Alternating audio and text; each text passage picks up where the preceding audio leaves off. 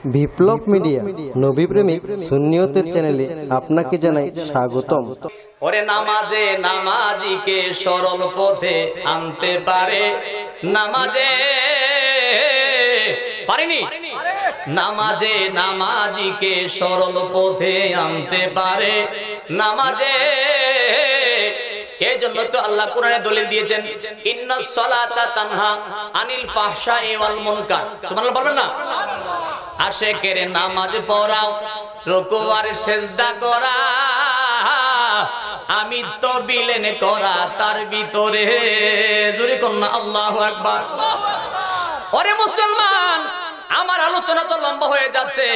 আমি জানি না কতটুক পর্যন্ত আমি সময় পাবো। কিন্তু যতটুকু যাইতে পারি আমি চেষ্টা চালিয়ে যাচ্ছি। হাজার হাজার কথা ছেড়ে ছেড়ে মূল মূল কথাগুলি জানাইতে লাগলাম। মুসলমান, আমি তো কেমন করে বিলেন করা যায়?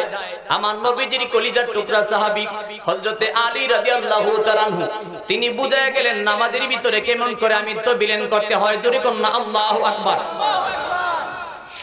আলী শের যুদ্ধের ময়দানে, যখন মৌলা আলীর পায়ের মধ্যে তীর লেগেছিল সাহাবে কেরাম তীর খুলতে যায়, পায়ের মধ্যে ব্যথা পাই বড় চিৎকার মারে। চোখের পানি ছেড়ে ছেড়ে কান্দে, তীর খুলতে পারে না। এমন সময় সাহাবে কেরাম আমার নবীজির কাছে যায়, জিজ্ঞাসা করে, নবী গো, ইয়া রাসূলুল্লাহ, ইয়া হাবিবাল্লাহ, আলী ভাইয়ের পায়ের মধ্যে তীর লাগছে গো, টান দিলে খুলতে পারি না। ভাই, বড় চিৎকার মারে। আমার নবী ডাক দিয়া সাহাবি রে, খবর জানো না, খবর জানো না রে। আমার আলী যদি নামাজের ভিতরে দাঁড়াইব, তখন তোমরা তীর খোলার চেষ্টা করিও। এছাড়া তীর খোলার কোনো ব্যবস্থা তোমরা করতে পারবে না। ও মমিন মুসলমান ও বাঞ্চারামপুর এলাকার মমিন মুসলমান, যখন মাওলা আলী শেরে খুদা নামাজের ভিতরে দাঁড়াইলেন, সাহাবে একরাম জোর করে টান দিয়ে তীর যখন খুলে আসছে, কিতাবে লিখতেছে, তীরের সঙ্গে ভিতরের অংশ ছিঁড়ে আইছে। হু না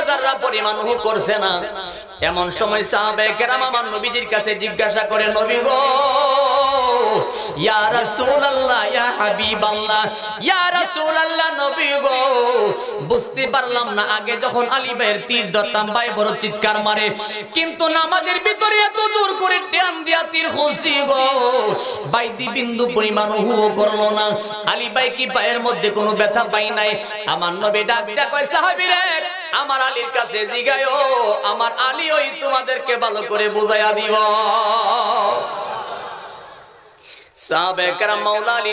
যখন নামাজ শেষ হয়ে গেছে, কাছে যায় চোখের পানি ছেড়ে ছেড়ে কাঁদতেছে, বলতেছে বাইরে আগে যখন তীর ধরতাম, ভাই, বড় চিৎকার মারতিয়া। কিন্তু না আমাদের ভিতরে তীর খুলছি, ভাই, তুমি কি ব্যথা পাইলা না? তোমার গায়ে কি কোনো ব্যথা লাগে নাই?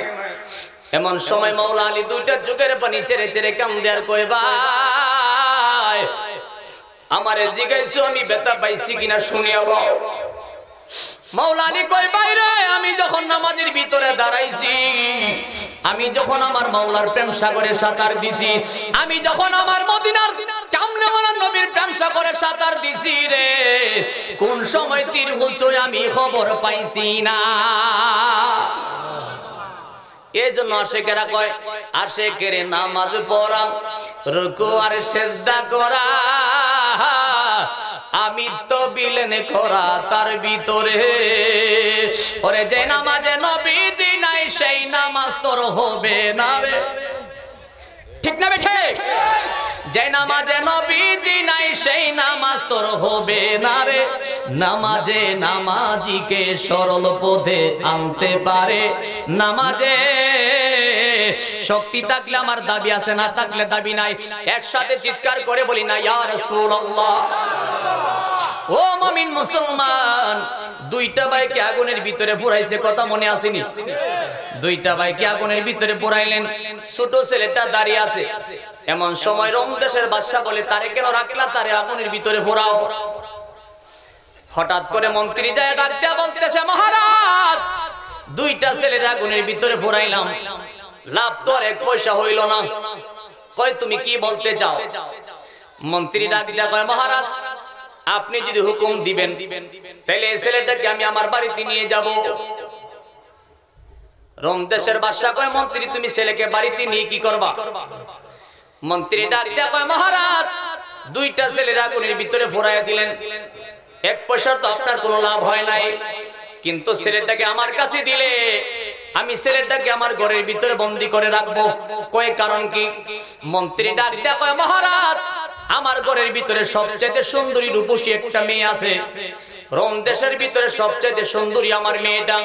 আমি যদি ছেলেটাকে আমার ঘরের ভিতরে বন্দি করে রাখব, আমি আমার মেয়েকে বলব ও মা তুমি এই ছেলেটার প্রেমের ফাঁদে ফালাইবা। ওগো মহারাজ যদি এই ছেলেটারে আমার প্রেমের প্রেমের ফাঁদে ফালাইতে পারি তাইলে তার ইমান সব নষ্ট হয়ে যাবে। এই ছেলেটা আমাদের পক্ষে নিতে পারব। আওয়াজ করে বলেন না না ওজুবিল্লাহ আল্লামা জালালউদ্দিন সৈয়দী রহমাতুল্লাহ আলাই এই আয়াতের তাফসিরি ভিতরে আসরে সুদুর নামক কিতাবের মধ্যে তিনি লিখতেছেন জবানটা বলে কন্যা আল্লাহ আকবার। ওই রোম দেশের বাদশার এমন করে যখন মন্ত্রী বলতেছে, ওগো বাদশাজি ছেলেটারে আমার কাছে দিয়ে দেন, আমি তারে বাড়িতে নিয়ে যাব। মন্ত্রী মনে মনে ভাবতেছে, যদি আমার কাছে দেয়, আমি তারে আমার ঘরের ভিতরে বন্দি করে রাখব। মহারাজ মনে মনে কয় বদ্যিটা তো বেশি মন্দ না, কারণ দুইটারে তো ফুরাই এলেছি আর এটা যদি আমার পক্ষে নিতে পারি, তাহলে মুসলমানরা আর আমাদের সঙ্গে কুলাইতে আমার ওয়াজের ভিতরে অনেক কিছু শিক্ষা আছে, জ্ঞান থাকলে বুঝে নিবেন। আজকে আমাদের দেশে মুসলমান, এক মুসলমান ভাইকে চোখের সামনে ফুরাই আমারে কেউ কিছু কয় না। বারমার জমিনে হাজার হাজার মুসলমান ফুরাই মারছে। ইরাকের জমিনে কত মানুষ মারছে। দিল্লির জমিনে কত মানুষ মারছে। সারা বিশ্বের ভিতরে কত মুসলমানকে ফুরায় ফুরায় মারতেছে। আর আমার দেশের মুসলমান খবর নাই। বাবারে হাতে ধরে বলি, পায়ে ধরে বলি, তুমি যেই দল করো না কেন, তোমার যেই দল ভালো লাগে তুমি সেই দল করো। কিন্তু মনে রাখবারে জালিমের দল যেদিন তোমার ধরব, সেদিন কিন্তু কোনোদিন জল বেদল তাকাইব না। কথা কোন ঠিক না বে ঠিক? ও মুসলমান, দুঃখ লাগে রে মনের ভিতরে সেই কথা মনে হলে বড় চুপ দিয়ে পানি আসে। মুসলমান আজকে এত অপমানিত, এত লাঞ্ছিত, কেন তারপরে আমাদের মুসলমানদের ভিতরে ভালোবাসা কেন এখনও তৈরি হয় নাই?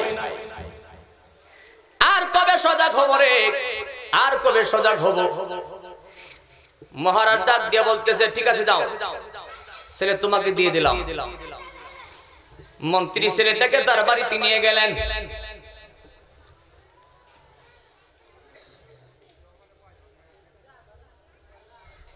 আমি মোবাইলটা হাতের মধ্যে টাইমটা দেখছি। এর উদ্দেশ্য হলো আপনাদের কমিটির কাছে আমি বলব, যখন আমার মাইক ছাড়তে হয়, অন্তত পক্ষে দশ পনেরো মিনিট আগে আমার সিগন্যাল দিবেন। কষ্ট হইব তো? জবানটা বলে কন্যা আল্লাহ আমমিন মুসলমান, রোম দেশের বাসরা যখন ওই ছেলেটাকে দিয়ে দিলেন, মন্ত্রী ছেলেটাকে ঘরের ভিতরে বন্দি করে রাখলেন। ঘরের ভিতরে বন্দি করে রাখিয়া, এমন সময় ঘরের ভিতরে নিয়ে মন্ত্রী তার মেয়েকে ডাক দিয়া বলতেছে, মা গো, আমি তো বাবা হইয়া জীবনে তোমার কাছে আমি কোনো কিছু চাই নাই। আজকে আমি তোমার কাছে একটা জিনিস চাবো, তুমি দিবা কিনা কও? মন্ত্রী মেয়ে ডাক দিয়া বলতেছে, বাবা, বলেন আমার কাছে কি চান? এমন সময় মন্ত্রী ডাক দিয়া কয় মারে আমার ঘরের ভিতরে একটা ছেলেকে আমি বন্দি করে রেখেছি। ছেলেটা দেখতে বড় সুন্দর পূর্ণিমার চাঁদের মতো চেহারা। আল্লাহ আকবার। ছেলেটা দেখতে বড় সুন্দর পূর্ণিমার চাঁদের মতো চেহারা। আমি তোমার কাছে বলব তুমি যদি চলে বলে কৌশলে মেয়েটাকে ওই ছেলেটাকে তোমার প্রেমের ফাঁদে ফালাইতে পারো। আমি বাবা হইয়া তোমাকে বলেছি তুমি যা চাইবা আমি কিন্তু তোমাকে তা দেব। চিৎকার করে বলেন না না ওজুবিল্লাহ এমন কিছু চক্রান্ত আমাদের দেশেও আছে। হ্যাঁ? অনেক অনেক ফ্যামিলিতে দেখা যায়, ছেলে মেয়ে নাফরমানি করে আব্বা আম্মা জানে, তারপরও কিচ্ছু কয় না। সবাই উত্তর দেন মনে মনে করব, কইতে হুজুর ধরে লইছে। এত বেমজ ওয়াজ করব, আমরা কি জানছি? অরে মুসলমান, তুমি জানো তোমার মেয়েটা কার সঙ্গে কথা কয়? তুমি কেন তোমার মেয়েকে সতর্ক করলা না? তুমি জানো তোমার ছেলে কার সঙ্গে কথা কয়? কেন তুমি সতর্ক করলা না? তুমি মনে করতেছো নামাজ রোজা পড়ো, বেহেশতে চইলা যাইবা? না রে মুসলমান না। আমি গুনাহগার কথাগুলি কইয়া দেয়া যায়, জীবনে যতদিন বাঁচবেন মনে রাখবেন। নসিবে থাকলে দেখা হইতে পারে, নাও হইতে পারে। আমার রসুল বলেছেন, মা বাবা যদি কবরবাসী হয়ে যায়, দুনিয়াতে সন্তান যদি নাফরমানি করে, ওই সন্তানের জন্য কবরের মধ্যে আব্বা, মা যা পাই চিৎকার করে কন্যা, নাউজুবিল্লাহ। এবার বুঝেন কোন সন্তান আপনি দুনিয়াতে রাখা গেলেন? যে সন্তান ফাও দুয়া ঘুমায় না। যে সন্তান নাফর মানি ছাড়া কোনো কিছু বুঝে না। আপনি কি কবরে শান্তি পাইবেন মনে করেন? আপনি কষ্ট পাইতেছেন নাকি? সন্তানের জন্য আব্বা আম্মা কবরে জান্নাতি হয়। সন্তানের কারণে আব্বা আম্মা জাহান্নামীও হয়। আবার সন্তানও মা বাবার জন্য জান্নাতি হয়, সন্তানও মা বাবার জন্য জাহান্নামী হয়। এজন্য আমার রসুল হাদিস শরীফ বলেছেন ও মা না রোকা ওয়া জান্নাতুকা।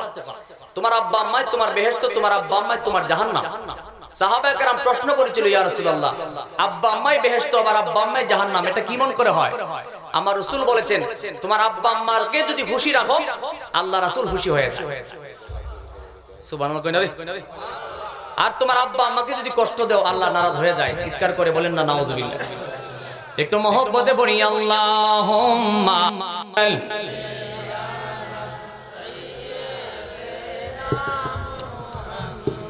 আর একটু আওয়াজটা পড়ে পড়ি আল্লাহ আলা সাইয়ে মোহাম্মদ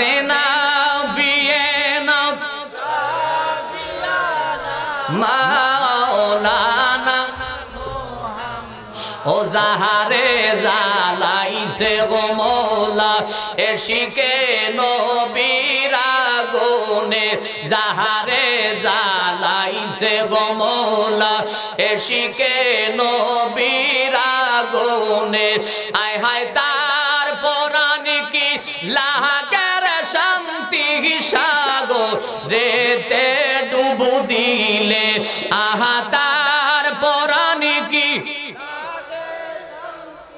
সাগরেতে ডুবু দিলে আল্লাহ হোম্মা সাল্লে আলা সাইয়ে ও জম্মার গরকে কাবা বানাইয়া, দেহের গরকে মদিনা। জম্মার গরকে কাবা বানাইয়া, দেহের গর দিনায় আমরা যাই নামাজ সাইয়া গো দেখব ওই যে সোনার নাই আমরা যাই নামাজ সাইয়া গো দেখব ওই যে সোনার না আল্লাহ হোম্মা সাল্লে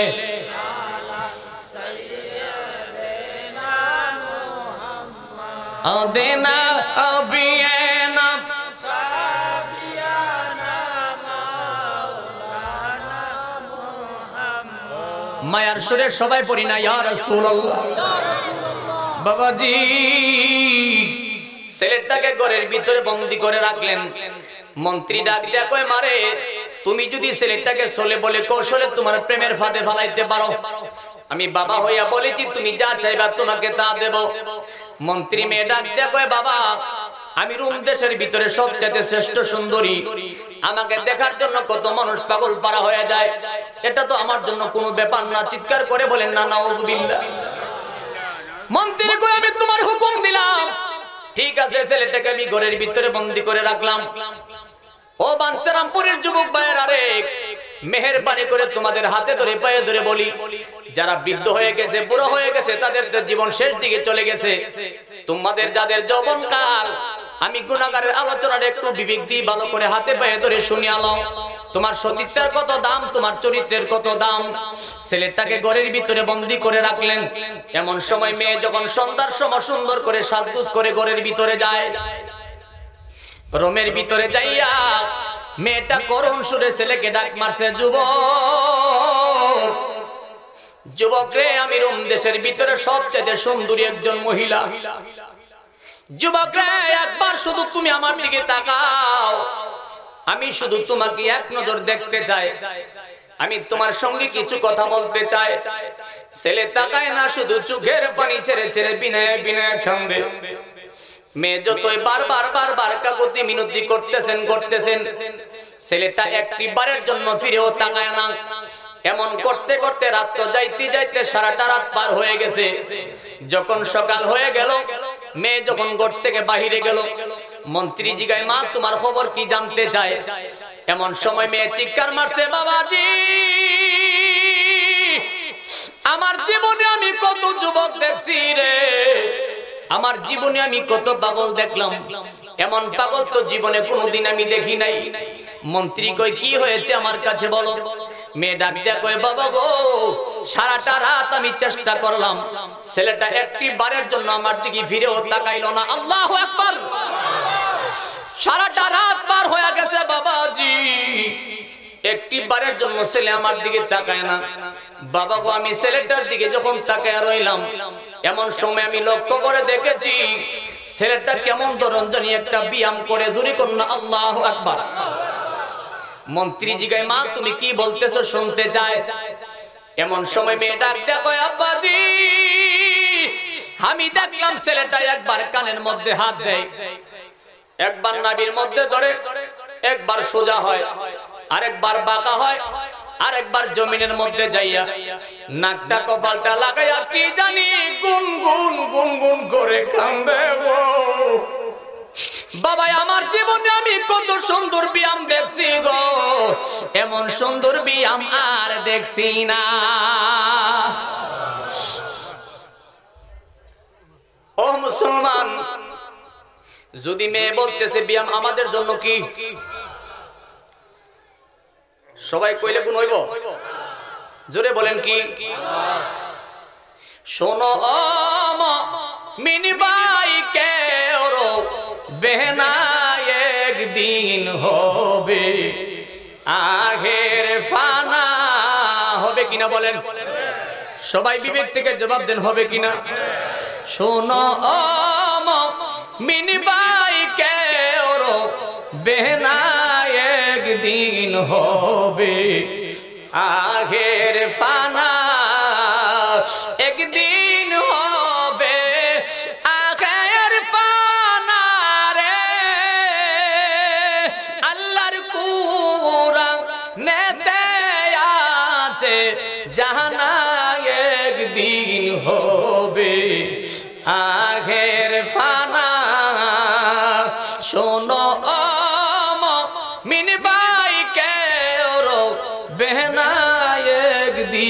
হবে।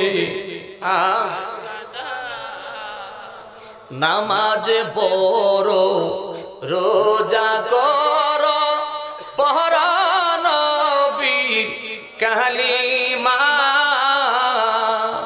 নামাজ দরকার আছে? রোজা? আহা বাবাজি রঙ্গের গোড়া দাওরে জীবনটা শেষ করবেন না। এ জীবনের বড় দাম আছে রে। কেন তুমি নামাজ পড়ো না? কেন রোজা করো না? যেদিন তুমি তোমার নৌকা যেদিন বালুর সরে লাইগা যাইব রে, সেদিন তো ঠেলা দিলেও নৌকার নড়াচড়া করবে না।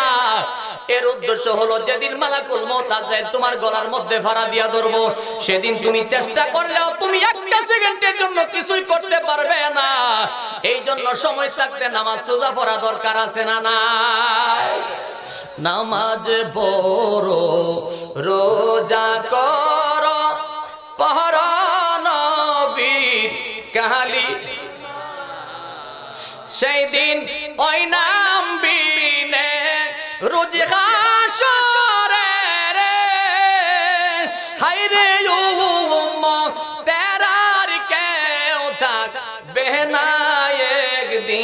হবে।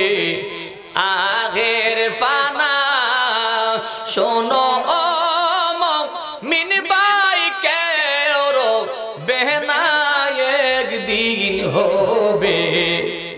আগের সবাই মিলে একসাথে পড়ি না আল্লাহ আকবার। মন্ত্রী মেয়েটা দেখো বাবা জীবনে তো কত ধরনের ব্যায়াম দেখছি। এমন ব্যায়াম কোনোদিন দেখি নাই। মন্ত্রী কই মা তুমি কি বলতেছো? কই বাবা আমি দেখি ছেলেটা একবার কানের মধ্যে হাত দেয়। একবার নাবির মধ্যে ধরে একবার সোজা হয়। আরেকবার বাঁকা হয়, আরেকবার জমিনের মধ্যে নাকটা কপালটা লাগায়া ছেলেটা চোখের পানি ছেড়ে ছেড়ে কান্দে আল্লাহ আকবার। মন্ত্রী কই, মা, একদিন গেছো? আচ্ছা তুমি আরেকদিন চেষ্টা করো। কন্যা, নাউজুবিল্লাহ। যদি কন্যা, নাউজুবিল্লাহ। মমিন মুসলমান ভাই, এ ভাই, আপনারা যে কোনো একজন যায় এদিকে বাচ্চাদেরকে বলেন যে একজন সিলাসিলি না করে। একজন একজন সবাই না। ও মমিন মুসলমান ভাই গভীর মনোযোগ। এবার দ্বিতীয় দিন মন্ত্রী কয় মা তুমি আরেকদিন যাও। মেয়ে যখন আবার সুন্দর করে সাজগুজ করে যখন আবার পরে দিন ঘরের ভিতরে যায়। ছেলেটা ঘরের ভিতরে ঘরের কোনার মধ্যে চোখের পানি ছেড়ে ছেড়ে কান্দে। মেয়ে ঘরের ভিতরে যাইয়া মধুর সুরে ডাক মারছে যুবক যুবক রে আমি রুম দেশের ভিতরে সবচাইতে সুন্দর একজন নারী। যুবক রে কেন তুমি একবার তুমি আমার দিকে তাকাইলা না? একবার শুধু আমার দিকে তাকাও, আমি তোমার সঙ্গে কিছু কথা বলতে চাই। ছেলে তাকায় না তাকায় না, চোখের পানি ছেড়ে ছেড়ে কান্দে। এমন করতে করতে দেখা যায় রাত্র শেষ হয়ে যায় যায়, কিন্তু তবু ছেলে ফিরেও সুবহানাল্লাহ। তাদের সতীত্বের দাম তারা কীভাবে দিছে? তাদের ইজ্জতের দাম কত? তাদের মর্যাদা কত? ছোট ছেলেটা চোখের পানি ছেড়ে ছেড়ে বিনয়ে বিনয়ে যখন কানতে লাগলেন। এমন সময় মেয়েটা দেখো যুবক রে, আমার জীবনে আমি কত যুবক দেখলাম রে। তোমার মতো এমন যুবক তো জীবনে কোনোদিন দেখি নাই। ও যুবক, একবার তুমি আমার দিকে তাকাও। আমি তোমার সঙ্গে কিছু কথা বলতে চাই। ছেলে তাকায় না, চোখের পানি চেরে চেরে কাঁদতেছে কাঁদতেছে। এমন করতে করতে রাত্রটা যখন শেষ হয়ে গেল, মেয়ে যখন ঘর থেকে বাহিরে গেল, এমন সময় মন্ত্রী জিগায় মা, তোমার খবর কি জানতে চায়? এমন সময় মেয়ে চিৎকার মারছে, বাবাজি! আমি কি বলব কি বলব, বাবা ছেলের কথা গো? আজকে দ্বিতীয়টা রাত, তো সারাটা রাত আমি চেষ্টা করলাম। একটি বারের জন্য ছেলে আমার দিকে তাকায় না। বাবা, আমি লক্ষ্য করে দেখেছি সারাটা রাত ছেলেটা কি জানি গুন গুন গুন গুন করে গান গায়। আমার জীবনে আমি কত সুন্দর গান শুনছি গো। এমন সুন্দর গান আর শুনছি না। মন্ত্রী কই তুমি কি কো বুঝলাম না। মেয়ে ডাক দিয়া বলতেছে, বাবা গো, দেখি ছেলেটা কি জানি গুনগুন করে গান গায়। আর তার চোখ দিয়া পানি ঝরে, আর গুনগুন করে গান গায়। কিন্তু যদিও মেয়ে বলতেছে গান, ছেলে কোরআন তেলাওয়াত করে, আমার নবীজির দুরু সুরি পড়ে। কোরআন তেলাবাদ করে দূরত পরে আমার নবীজির সাংগায় মায়ার নবী, নূরের নবী, আমার দয়ার নবী, নূরের নবী গো। কোথায়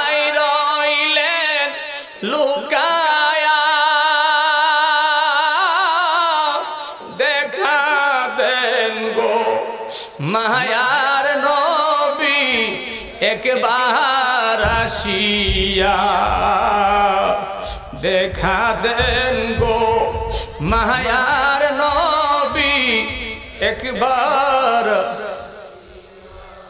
বাবা, নবীর জন্য মনটা কান্দিনি। নবীর জন্য নবীর দেখতে মনে চাই। মায়ার নবী গো।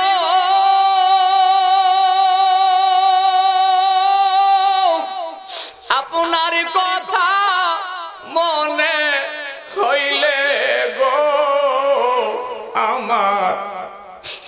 বুক বেসে যায়। নয়ন জলে আমার বুক বেসে যায়। নয়ন জলে কারে দেখায় ফুলিয়া দেখা দেন গো মায়ার নবী, একবার আসিয়া। দেখা দেন গো দয়ার নবী। মায়ার নবী গো।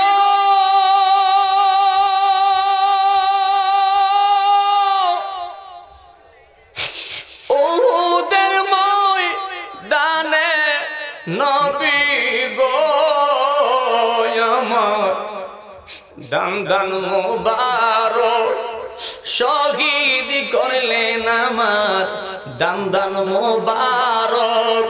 শহীদ করলেন উম্মতের লাগিয়া। দেখা দেন গো মায়ার নবী, একবার আসিয়া। দেখা দেন গো দয়ার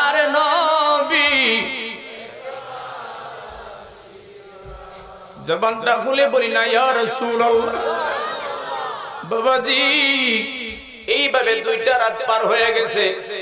আবার পরের দিন মন্ত্রী ডাক দেখবে মারে, তুমি আরেক দিন যাও। জুরি কন্যা না মেয়ে যখন আবার তৃতীয় দিন সুন্দর করে সাজগুজ করে আবার ঘরের ভিতরে যায়। ঘরের ভিতরে যাইয়া ছেলেকে ডাক মারছে, যুবক যুবক রে আমি রোম দেশের ভিতরে কত সুন্দর একজন মহিলা। আমাকে দেখার জন্য কত মানুষ পাগল পারা হয়ে যায়। যুবক রে একবার শুধু তুমি আমার দিকে তাকাও। আমি তোমার সঙ্গে দুই একটি কথা বলতে চাই। ছেলে তাকায় না তাকায় না, চোখের পানি ছেড়ে ছেড়ে কান্দে। এমন করতে করতে রাত্রটা পার হয়ে গেল। সারা রাত পার হয়ে গেছে। মেয়ে যখন ঘর থেকে বাহিরে গেল, মন্ত্রী জিগায়, মা, তোমার খবর কি জানতে চায়? মেয়েটা চিৎকার মারছে, আব্বাজি! আমি আজকে তিনটা রাত পার হয়ে গেছে, বাবা গো। কতই চেষ্টা করলাম, ছেলে তো আমার দিকে তাকায় না। বাবা গো, আমি দেখেছি, ছেলেটা যখন ব্যায়াম করে আর চোখের পানি ছেড়ে ছেড়ে গান গায়, হঠাৎ করে আমি তাকায় দেখলাম, বাবা গো। হঠাৎ করে আমি তাকায়া দেখতেছি গড়টার ভিতরে কেমন কেমন জানি আলো দেখা যায়। ও মমিন মুসলমান ভাই, প্রেমিক কারে কয়, ভালোবাসা কারে কয়? এই জন্য প্রায় সময় বলি, তারে মাটিয়ে খায় না, জমে অসই না গো, নবীর প্রেমিক যেই জহনা। ঠিক না ঠিক যদি বলতে চাই লম্বা হয়ে যাইব, সংক্ষেপ সংক্ষেপে আমার মূল কথাগুলি জানাই দিয়া যায়। তৃতীয় দিন পার হয়ে গেল। এবার চতুর্থ দিন। মন্ত্রী কই, মা, তুমি আরেক দিন যাও। অন্য নজবিল্লা আবার চতুর্থ দিন যখন সাজ সাজগুজ করে, ভালো করে সাজ করে রুমের ভিতরে যায়। আল্লাহ জালালউদ্দিন সৈয়দি রহমাতুল্লাহ আলাই তিনি তার কিতাবের মধ্যে লিখতেছে, একদিন, দুই দিন নয়, এমন করে চল্লিশ রাত।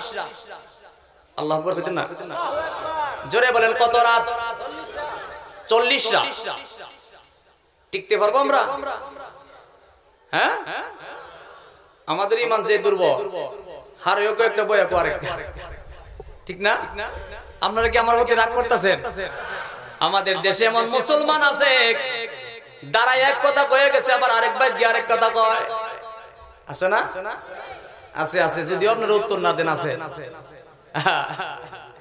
আরে মুসলমান, গভীর মনোযোগ গভীর মনোযোগ। এমন করে চতুর্থ দিন যখন মেয়েটা আবার সুন্দর করে শ্বাস করে ঘরের ভিতরে যায়, ঘরের ভিতরে যাইয়া এমন সময় ছেলেকে ডাক মারছে, যুবক রে, আজকে চতুর্থটা রাত পার হয়ে যায়। কেন তুমি আমার দিকে তাকাও না রে? যুবক, একবার শুধু তুমি আমার দিকে তাকাও। ছেলে তাকায় না তাকায় না, চোখের পানি ছেড়ে ছেড়ে কান্দে। এমন করতে করতে রাত্র শেষ হয়ে যায় যায়। ছেলে তো একটি বারের জন্য তাকায় না, যখন রাত্রে বেলা ফিরে তাকায় না এমন করতে করতে সকাল হয়ে গেল। সকাল যখন হয়ে গেছে, এক পর্যায়ে দেখা যায়, মেয়েটা যখন ঘর থেকে বাহিরে গেল, মন্ত্রী জিগায়, মা, তোমার খবর কি জানতে চায়? এমন সময় মেয়ে ডাক মারছে, বাবা রে, আমি কি বলব ছেলের কথা বলার বাসা নাই। চতুর্থটা রাত আমি চেষ্টা করে দেখেছি, একটি বারের জন্য ছেলে তো আমার দিকে ফিরে তাকাই না তাকাই না। আমি ছেলের দিকে তাকায় লক্ষ্য করে দেখেছি ছেলেটা যখন গুনগুন করে গান গাইতো আর যখন ব্যায়াম করত আর যখন চোখের পানি ছেড়ে ছেড়ে কান্ত এমন সময় দেখতাম রে ছেলেটার চেহারাটা হঠাৎ হঠাৎ কেমন জানি জিলমিল জিলমিল করে।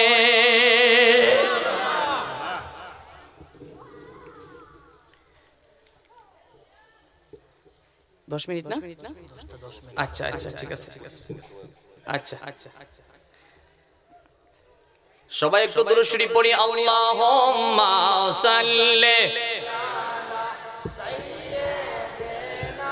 থাক থাক থাক থাক।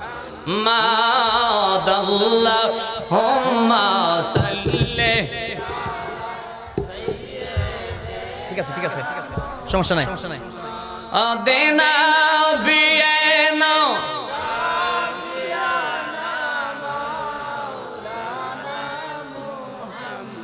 বাবা মনটাকে নরম করে বলেন, আল্লাহ তুমি দয়া করো, নসিবি করো মদিনা।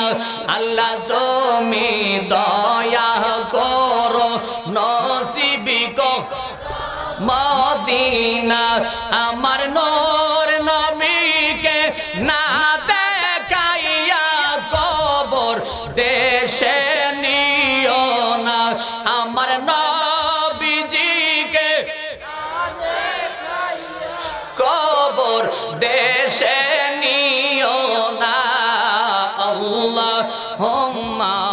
সাল্লি আলা সাইয়্যিদ ও নবী আমরার পরশ মনি। নবী আমরার জানের জান ঠিক না বেটি এটা আপনার আমার কথা নয়, আল্লাহ কোরআনের ভিতরে দলিল দিয়েছেন, আন্নাবিয়ু আউলা বিল মুমিনিনা মিন আনফুসিহিম। আমার আল্লাহর কুদরতের জবানে জানাইলেন, আমি আল্লাহ হচ্ছি, ওয়া নাহনু আকরাবু ইলাইহি মিন হাবলিল ওয়ারিদ। আমি আল্লাহ প্রত্যেক বান্দার সাহারগের নিকটে আছি, কিন্তু আমার বন্ধু কামলিওয়ালা, আন্নাবিয়ু আউলা বিল মুমিনিনা যারা হবে মুমিন, যারা হবে ঈমানদার আমার বন্ধু ঈমানদারের জানের চাইতে আরও নিকটে। এজন্য আশেকেরা কয় নবী আমরার পরশ গমনি নবী আমরার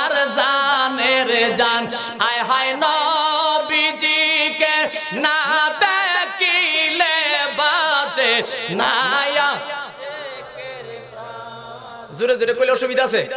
তাহলে বলার সত্যি বলাইতে না নাকি? আরে যুবক ভাইরা জোরে কও পুরা বেড়াতে জোরে কও, তোমরা ফুতাই গেল কাকারে? জোরে বলেন, নবী আমরার ফরজ গমনি, নবী আমরার জানের জান।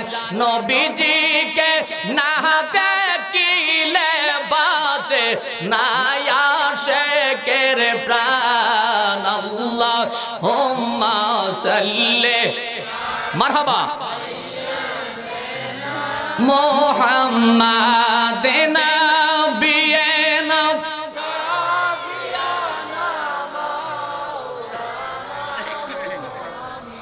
মায়ার সুরে পড়ি না ইয়া রাসূলুল্লাহ। বাবাজি এমন করে চারটা রাত পার হয়ে গেল। এমন করতে করতে চার দিন গেল, পাঁচ দিন গেল, ছয় দিন গেল, সাত দিন গেল, আট দিন গেল, নয় দিন গেল, দশ দিন গেল। আমি যদি চল্লিশ রাতের বিবরণ দিতে চাই, আরও কমপক্ষে দুই ঘণ্টা সময় লাগবে। এই জন্য আমার সময় সীমার ভিতরে আমার মূল কথা শেষ করতে হবে। আমি এই মুহূর্তে উনচল্লিশ রাত থেকে উদাহরণ জানিয়ে দিতে লাগলাম। আল্লাহর পয়গম্বর সরকারে দু জাহান নবী মুস্তফা সাল্লাল্লাহু আলাইহি ওয়াসাল্লামের উম্মতের কত প্রেম, কত ভালোবাসা, কত ইমানি শক্তির মুসলমান, একবার চিন্তা করিয়া দেখেন ছেলেটাকে ঘরের ভিতরে বন্দি করে রাখলেন। এমন করে উনচল্লিশটা রাত যেদিন পার হয়ে যায়, উনচল্লিশ রাতের মাথায় মন্ত্রী মেয়েকে ডাক দিয়া বলতেছে মারে উনচল্লিশটা রাত আজকে পার হয়ে যায়। তোমারে প্রত্যেক দিন পাঠাইলাম, প্রত্যেক দিন গেলা। ছেলেটাকে তোমার প্রেমের ফাঁদে ফালাইতে পারলা না। রোম দেশের ভিতরে এত বড় সুন্দরী হইয়া তুমি কি করতে পেরেছ? একটা ছেলেকে তোমার প্রেমের ফাঁদে ফালাইতে পারো না। তুমি কি করো আমি বুঝতে পারলাম না। আজকে তোমাকে বলেছি, তুমি যাও। যদি আজকে না পারবা, তাইলে আর কোনোদিন তোমারে যাইতে কইতাম না। আল্লাহ একবার জোরে বলবেন না। উনচল্লিশ রাত পার হয়ে যায়, তুমি কিচ্ছু করতাল না। আজকে যদি না পারো আর কোনোদিন, কইতাম না, যাও। মেয়ে বলতেছে, ঠিক আছে, আমি গেলাম। উনচল্লিশ রাতের মাথায় মেয়েটা ঘরের ভিতরে যাইয়া আল্লাহ মা জালালউদ্দিন সুইতি রহমাতুল্লাহ আলাই বলেন মাথায় মেয়েটা ঘরের ভিতরে যাইয়া মধুর সুরে সুরে ডাক দেয়া বলতেছে, যুবক যুবক উনচল্লিশটা রাত পার যায়। যুবক একবার শুধু আমার দিকে তাকাও রে, আমি তোমারে একটু দেখতে চাই। ও মমিন মুসলমান, যতই চেষ্টা করতে লাগলেন ছেলে তাকায় না তাকায় না। সারাটা রাত্র পার হয়ে গেল। যখন সকালে বাহিরে গেছে, এমন সময় ডাক দিয়া বলতেছে, মা, তোমার খবর কি জানতে চায় মেয়ে ডাক মারছে, বাবা রে! ও বাবা, আমি কি বলব? ছেলের কথা আমি বলার মতো কোনো বাসা নাই। উনচল্লিশটা রাত পার হয়ে গেল একটি বারের জন্য ছেলেটাকে আমার দিকে ফিরাইতেই পারলাম না। জোরি না আল্লাহ আকবার। মন্ত্রী কই, ঠিক আছে, আর গেলে যাও, না গেলে আর তোমার কইতাম না। আল্লাহ আকবার। আর গেলে যাও, না গেলে নাই। তুমি রোম দেশের ভিতরে এমন সুন্দরী একটা মেয়ে হয়ে একটা ছেলেকে তোমার প্রেমের ফাঁদে ফেলাইতে পারল না, আর কইতাম না। এমন সময় মেয়ে ডাক দিয়া বলতেছে, বাবা গো, উনচল্লিশটা রাত আমি আপনার কথা মতে গেলাম। আজকে রাতটা আমি নিজের ইচ্ছাই যাব। জুরি কন্যা, আল্লাহ আকবার। মেয়েটা ডাক দিয়া বলতেছে বাবাজি? এতদিন পর্যন্ত আপনার হুকুমে গেলাম। আজকে আমি নিজের ইচ্ছাই যাব। মুসলমান যখন মেয়েটা পরের দিন ঘরের ভিতরে যাই রে অন্যদিন মেয়েটা ঘরের ভিতরে যেইভাবে যাইতো আজকে সেইভাবে যায় না। আজকে তার মনটা অনেক নরম নরম দেখা যায়। মেয়ের মনটা নরম দেখা যায়। দিলটাকে নরম করিয়া, মনটাকে নরম করিয়া ঘরের ভিতরে যাইয়া দুইটা চোখের পানি ছেড়ে ছেড়ে কাঁদতেছে বলতেছে, যুবক যুবক রে, উনচল্লিশটা রাত আমি তোমারে জ্বালাইছি। যুবক রে, আর আমি জ্বালাইতাম না রে।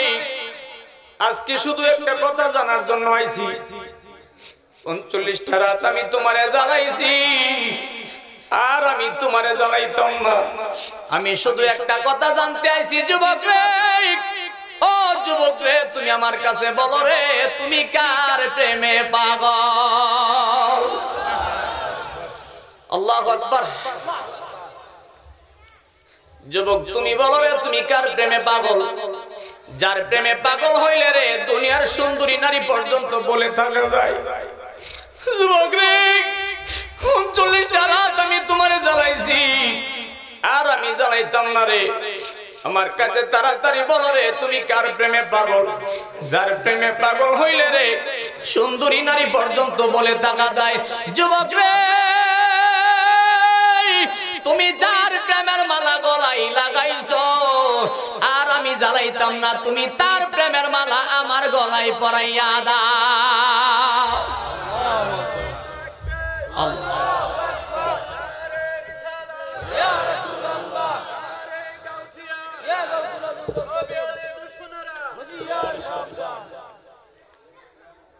একবার মায়ার শুনে পড়েন না, ইয়া রাসূলুল্লাহ।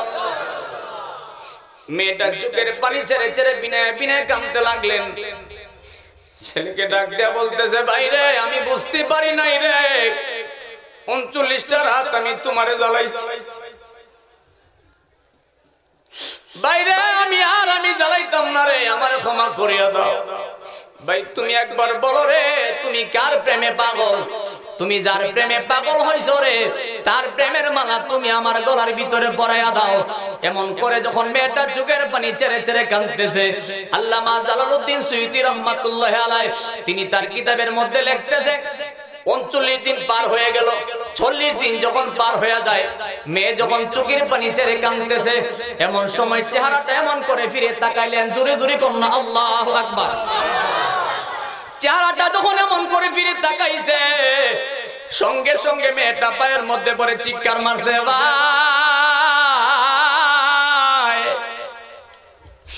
ভাই রে, আমি বুঝতে পারি নাই রে, আমি বুঝতে পারি নাই, আমি ভুল করছি, ভাই রে। আমার ক্ষমা কয়রা দেও রে। তুমি ক্ষমা না করলে আমি ক্ষমা পাবো না। তাড়াতাড়ি বলো রে, তুমি কার প্রেমে পাগল?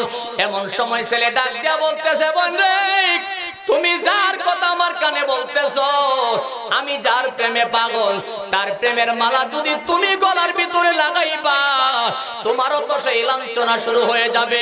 ও বোন, তুমি জানো না, আমি যার প্রেমে পাগল হইছি রে। ওই নবীর প্রেমে পাগল হওয়ার কারণে আমার কলিজার টুকরা দুইটা বাইকে জালিম বা আগুনের ভিতরে ভরাইছে। তোমার আব্বা আমারে ঘরের ভিতরে বন্দি করে রেখেছে। তোমার মাধ্যমে আমার ইমানটা নষ্ট করার জন্য।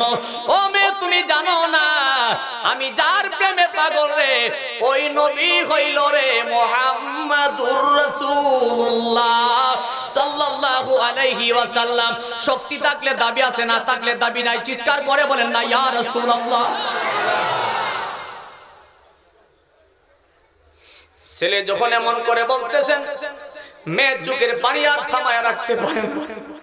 মেয়ে ডাক দিয়া বলতেছে, বাইরে আমি তো মোহাম্মদের নাম শুনছি রে। মোহাম্মদ কারে কই আমি বুঝি না? মোহাম্মদ কারে কই আমি চিনি না? দেরি কইরো না রে, দেরি কইরো না। তাড়াতাড়ি তাড়াতাড়ি তুমি আমারে ওই নবীর প্রেমের মালা পরাইয়া দাও। এমন সময় ছেলে ডাক দিয়া বলতেছে, আমার সঙ্গে পড়ো, লা ইলাহা ইল্লাল্লাহু মুহাম্মাদুর রাসূলুল্লাহ। সবাই মহব্বতে পড়ি না, ইয়া এখন মেয়ে কি হয়ে গেল? কথা বলেন, কি হয়ে গেল? হেদায়তের মালিক কে?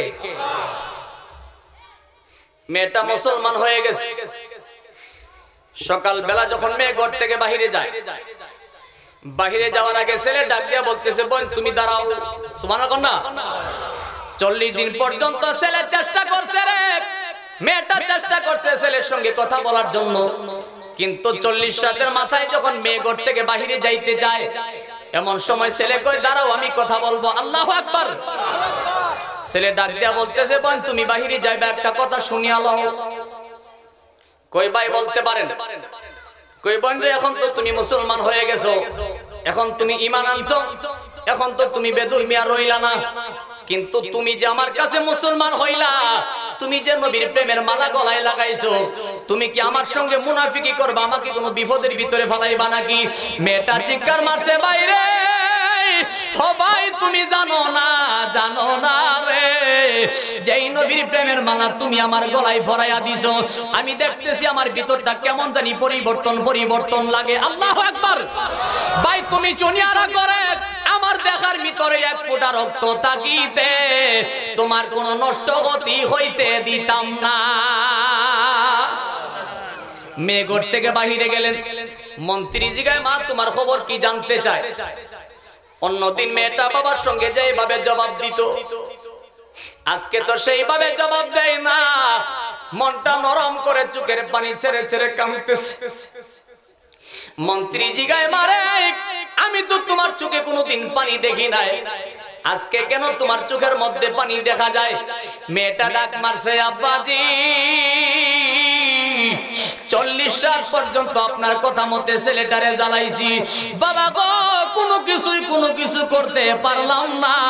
কিন্তু আজকে রাত্রে আমি সাকসেসফুল হয়ে গেলাম। মেয়ের বাবা মনে মনে ভাবছে, বুঝি নাফরমানি হয়ে গেছে। মন্ত্রী তো সে খবর জানে না।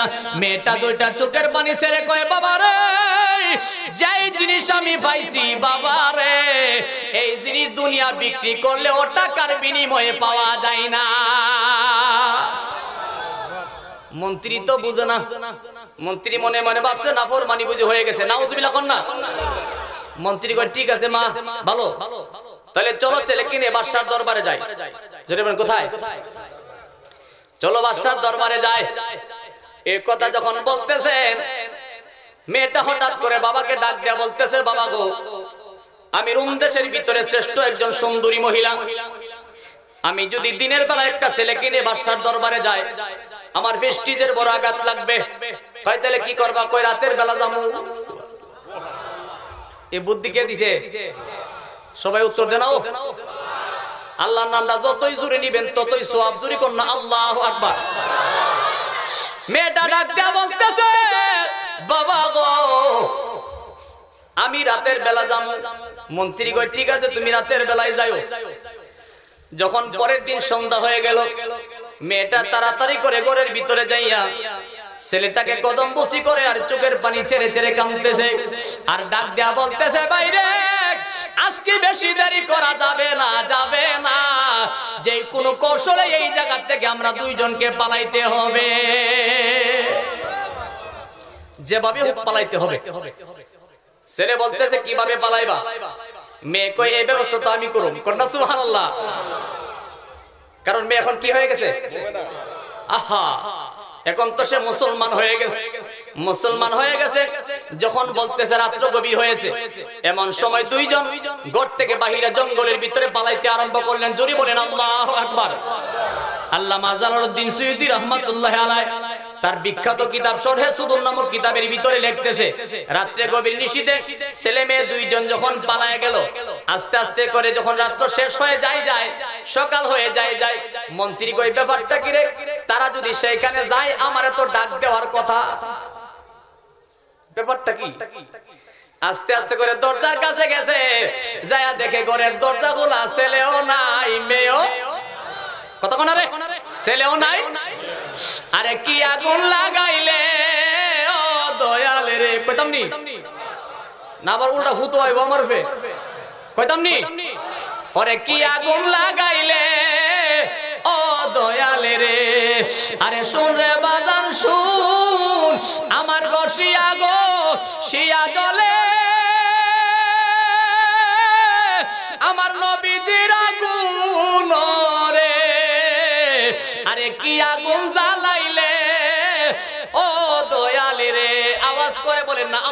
আকবার। ঘরের ভিতরে তাকায় দেখে ঘরের ভিতরে ছেলেও নাই, মেয়েও নাই রে। মন্ত্রী এখন পায়জামা করো ঠিক না বেঠি? কথা কোনা মন্ত্রী এখন মাথা নষ্ট। পাগলের মতো দৌড়ে যাইতে যাইতে বাদশার দরবারে হারিয়ে হয়ে গেল। রোম দেশের বাদশার কাছে যায় বলতেছে, বাদশাজি, সর্বনাশ হয়ে গেছে গো বাদশাজি, সর্বনাশ হয়ে গেছে। রোম দেশের বাদশা ডাক দেখো মন্ত্রী রে কি বলতে চাও ভালো করে বুঝায়া কও কই মহারাজ ছেলেটাকে নিয়েছিলাম আমার মেয়ের প্রেমের ফাঁদে ফালানোর জন্য। এখন তো দেখতেছি উল্টা রিজেকশন কইরা ফালাইছে।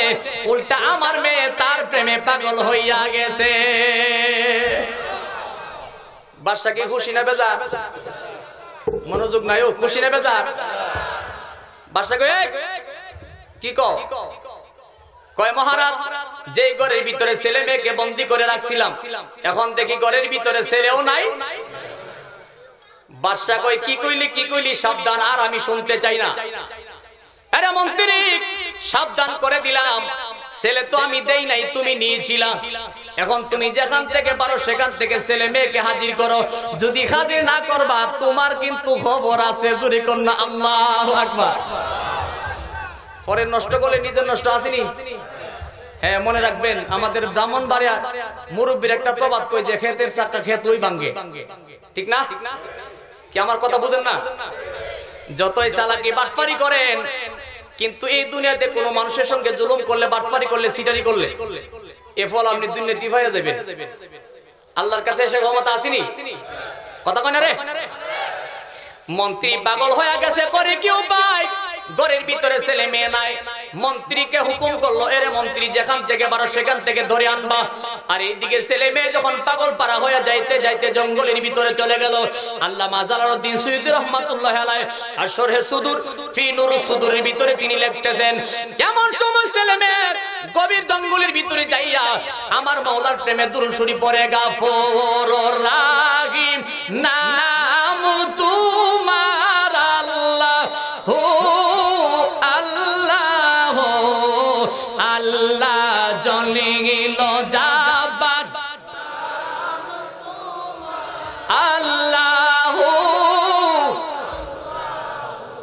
আল্লাহ তোমার নাম তোমার কাম আল্লাহ। আল্লাহ তোমার মেহরবানি। তুমি দরিয়া শুকাইতে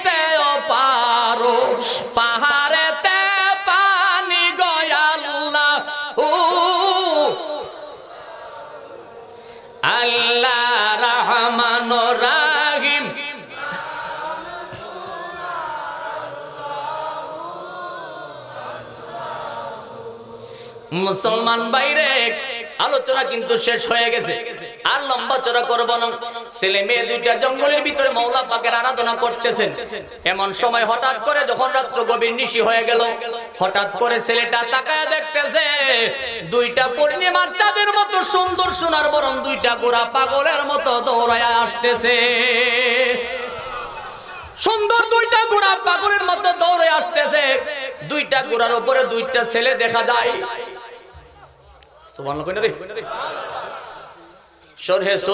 কিতাবের ভিতরে লিখতেছেন, আমি দেখতে লাগলাম, দুইটা ছেলে আসতেছে, দুইটা কুরার মধ্যে পূর্ণিমার চাঁদের মতো চেহারা। এমন সময় মেয়েটা দেখিয়া বই পাইতে লাগলেন। ছেলেও একটু আতঙ্কিত হয়ে গেল। এক কদম, দুই কদম করে পেছন দিকে পালানোর জন্য চেষ্টা করতে লাগলেন। এমন সময় তাকায় দেখতেছে, ওই কুড়া দুইটা পাগলের মতো তাড়াতাড়ি করে ছুটি আসতেছে। পাগলের মতো যখন দৌড়ে ছুটি আসতেছে, এমন সময় হঠাৎ করে ছেলে মেয়ে ডাক দিয়া বলতেছে, বাইরে, বুঝতে পেরেছি, আমার বাবা বুঝি খবর পেয়ে গেছে। রুম দেশের বাদশা বুঝি লোক পাঠাইছে আমাদেরকে ধরার জন্য।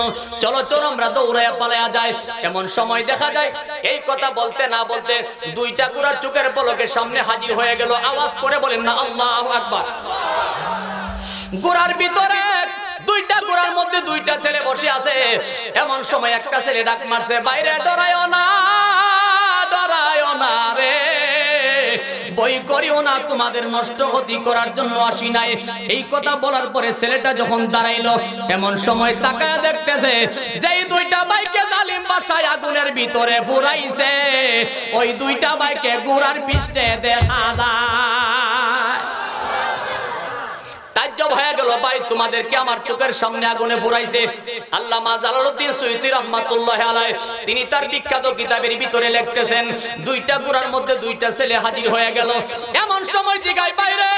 আমার চোখের সামনে দেখলাম তোমাদের আগুনে ফুরাইছে এখন কেমনে তোমরা হাজির হয়ে গেলা?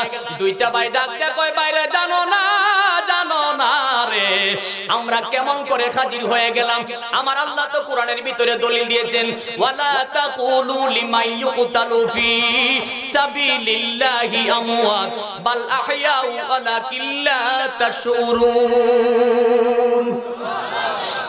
ভাই আমার আল্লাহ বলেছেন, আল্লাহ রাস্তায় যারা শহীদ হয়ে যায়, আল্লাহ রাস্তায় যারা জীবন দেয়, তারা মরে না মরে না রে।